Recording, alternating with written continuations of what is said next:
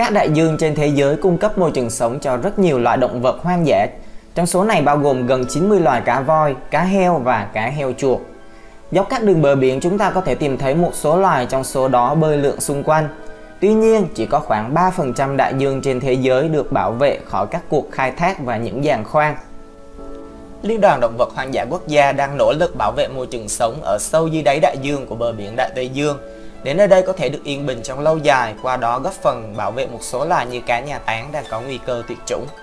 Vậy để bảo vệ cá nhà táng tốt hơn, hãy cùng mình tìm hiểu những điều thú vị về loài thú này nhé. Cá nhà táng trưởng thành có bộ não lớn nhất trên trái đất. Bộ não của chúng ta chỉ nặng khoảng 1,3 kg, nhưng não của một chú cá nhà táng có thể nặng đến 7,7 kg. Những con người có bộ não lớn hơn nhiều nếu chiếu theo tỷ lệ.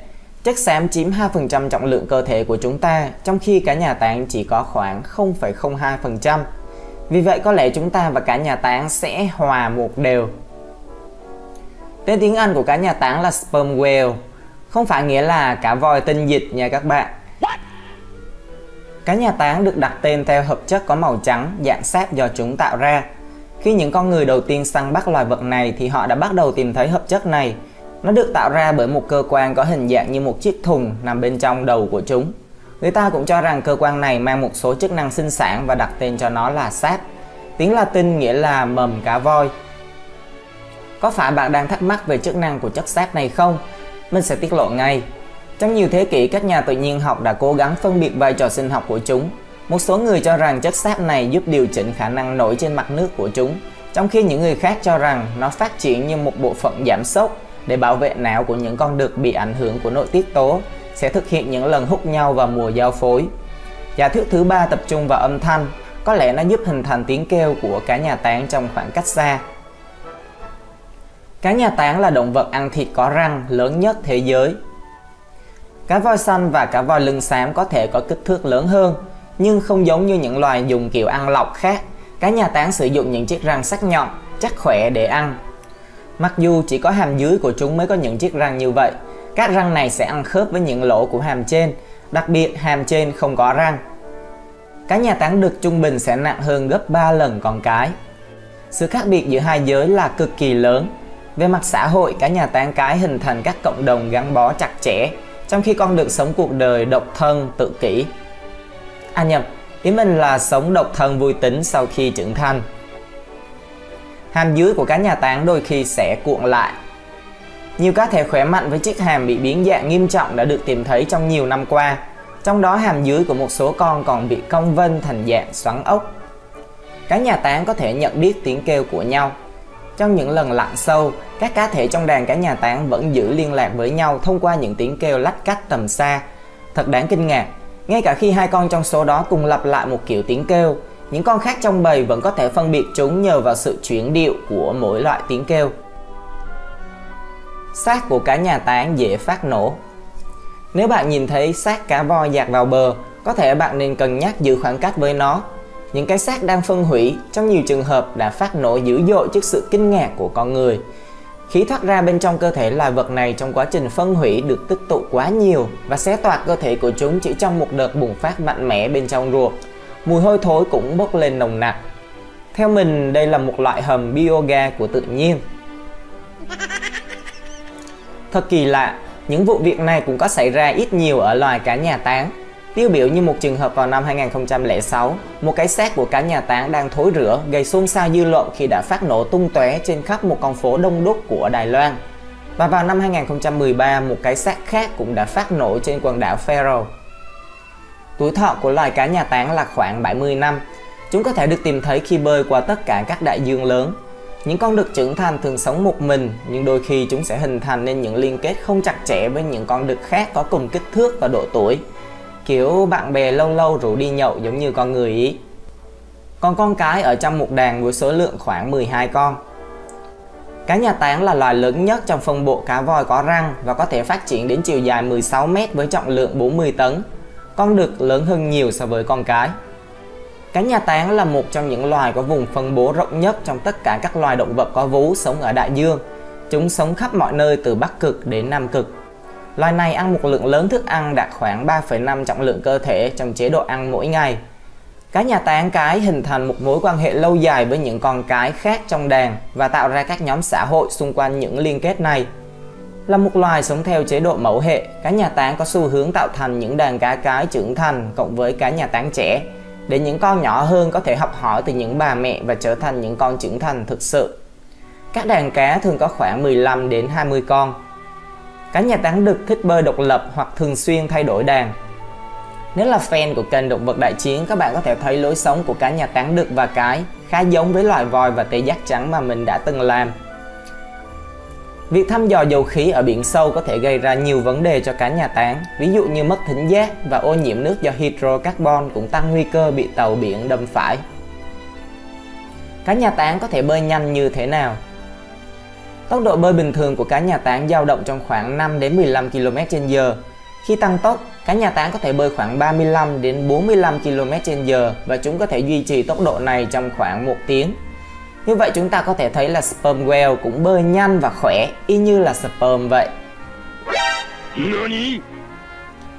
Cá nhà tán có kẻ thù nào không? Cá voi sát thủ là kẻ thù tự nhiên lớn nhất đối với cá nhà tán.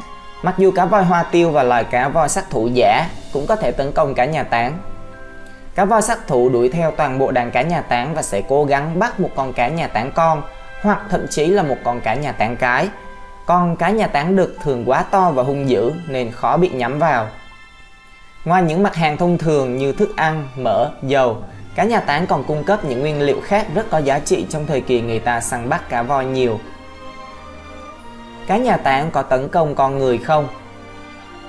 Mặc dù cá nhà tán thường rút lui khi nhìn thấy những con tàu, nhưng trong những trường hợp rất hiếm, chúng có thể sẽ hút vào những chiếc thuyền nhỏ một số nhà khoa học tin rằng cả nhà táng nhớ lại những hành động gây hấn của con người trong quá khứ và đã trở nên thù địch.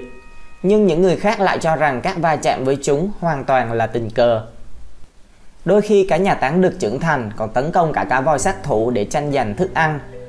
Wow, cà phê mạnh dữ! Cả nhà táng được cũng giang hồ ra phết. Trái tim của cá nhà táng nặng tương đương với hai người đàn ông trưởng thành, có cân nặng trung bình là 125 kg. Mức áp suất âm thanh cao nhất từng được ghi nhận bởi động vật là từ một chú cá nhà táng ngoài khơi xa của vùng biển phía Bắc Na Uy. Một lần tạo tiếng vang lên đến 235 decibel, bằng với áp suất âm thanh của tên lửa Saturn 5 nghe thấy ở khoảng cách 1 mét. Âm thanh này chứng minh cho giả thuyết vụ nổ lớn, trong đó nói rằng cá nhà táng có thể gây choáng hoặc thậm chí là giết chết con mồi bằng âm thanh. Cá nhà táng có lớp da nhăn màu xanh xám hoặc nâu nhạt, Chiếc đầu hình vuông và to lớn của chúng chiếm 1 phần 3 tổng kích thước cơ thể. Không giống như các loài cá voi khác, cá nhà táng có duy nhất một ống phun nước nằm phía bên trái của đầu. Không khí khi ngưng tụ sẽ được thổi về phía trước và xuống dưới góc, giúp nhận dạng cá nhà táng từ xa. Cá nhà táng có từ 18 đến 30 chiếc răng hình nón ở hàm dưới nhỏ bé của chúng. Loài thú này có thể ở dưới nước 90 phút mà không cần ngoi lên mặt nước để thở. Cá nhà táng có đôi mắt nhỏ và thị lực kém, Tuy nhiên ngay cả khi thị lực không tốt thì chúng cũng có thể tìm thấy thức ăn nhờ khả năng định vị bằng tiếng vang. Kỹ thuật này bao gồm tạo ra tiếng vang và lắng nghe âm thanh dội lại sau khi bật ra từ các vật thể trước mặt chúng. Bằng cách sử dụng khả năng định vị tiếng vang này, cả nhà táng có thể phát hiện ra con mồi mà không cần dùng mắt. Mùa giao phối diễn ra vào mùa hè. Con được tham gia vào đàn của con cái và giao phối với tất cả những con đã trưởng thành về mặt giới tính. Sự trưởng thành về mặt sinh dục của cá nhà táng phụ thuộc vào kích thước của chúng. Con cái có thể mang thai ngay khi chúng đạt chiều dài 8,5 m. Con được sẵn sàng giao phối khi chúng đạt kích thước 11,8 m. Thời kỳ mang thai kéo dài từ 14 đến 16 tháng và chỉ sinh ra một con non duy nhất. Cá nhà táng mẹ sẽ chăm sóc con non trong 2 năm đầu đời. Môi trường sống của cá nhà táng là ngoài biển khơi Đặc biệt hơn, cá nhà táng có thể được tìm thấy ở hầu hết các vùng nước biển sâu hơn 1.000 mét không bị băng bao phủ, ngoại trừ biển đen và có thể là cả biển đỏ. Chúng có xu hướng thường xuyên sống ở những nơi có nước lạnh hơn. Thỉnh thoảng cá nhà táng sẽ bị mắc cạn với số lượng lớn. Người ta đã ghi nhận được các vụ cá voi sát thủ tấn công cá nhà táng. Những con cá mập lớn cũng có thể là kẻ thù tiềm năng của cá nhà táng non. Cá nhà táng thường lặn sâu từ 300 đến 800 mét và đôi khi là 1 đến 2 km để tìm kiếm thức ăn. Về giấc ngủ, cá nhà tán ở trạng thái ngủ hoàn toàn khi cơ thể chúng trôi dạt ở bề mặt nước hoặc ở độ sâu 10 mét. Giấc ngủ ngắn của chúng dài từ 10 đến 15 phút.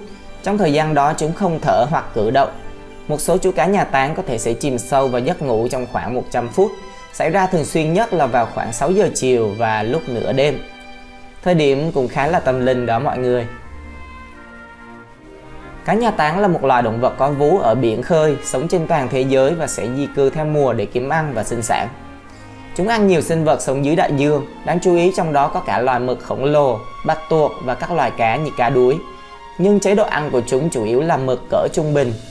Một số con mồi có thể vô tình bị bắt khi đang ăn những thức ăn khác.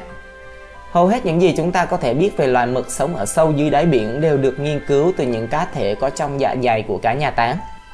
Mặc dù nhiều nghiên cứu gần đây đã phân tích cả phân của loài thú này. Một nhà báo khoa học cho biết, tiếng kêu của cá nhà táng lớn đến mức có khả năng giết chết một con người trong khu vực lân cận. Âm thanh này rất lớn trong nước, chúng có thể làm thủng màng nhĩ của bạn một cách dễ dàng và thực sự có thể làm cơ thể người rung động cho đến chết.